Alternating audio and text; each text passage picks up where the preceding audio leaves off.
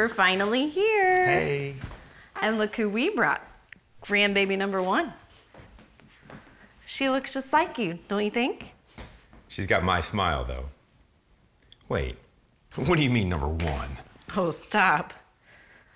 So, were my eyes really this big? Macular degeneration gets in the way of life because it breaks down the center of your retina.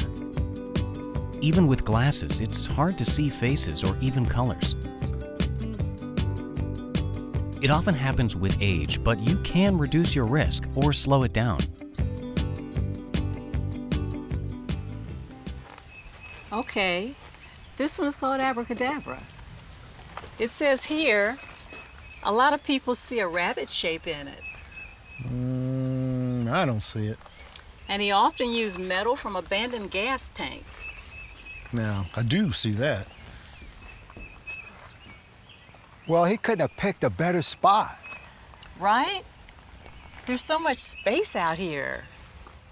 You know, we should come back here in the fall.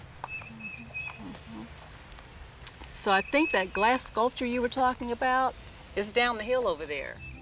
Glaucoma gradually creates a tunnel vision that you may not notice until it's too late.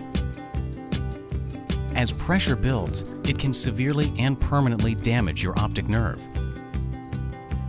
But if you catch it early enough, glaucoma can be slowed or stopped.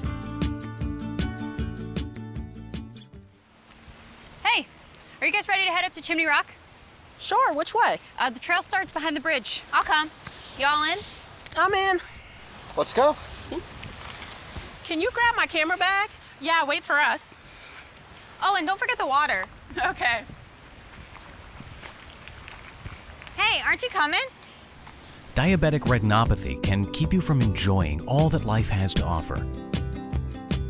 Too much blood sugar can damage your retina's blood vessels, causing floating spots in your vision. While there's no cure yet, early detection can help manage its effects. Yeah, maybe, maybe. How long has it been? The question is, he's two years. I bet you don't even recognize him. Guys, I think he's here. He's coming now. Well, where is he? Be patient. Oh, I see him. Oh, there he is. Here He goes. He looks awesome. You look great, Sam. Welcome back. It's so good to oh, see you. awesome, Sam. Cataracts cloud the lens of your eyes, throwing everything out of focus. Some say it's like seeing life through a fogged up window.